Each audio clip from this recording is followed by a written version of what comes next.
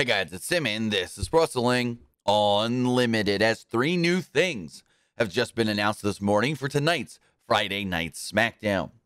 First off, we do know officially that Ricochet will be going one on one with Happy Corbin.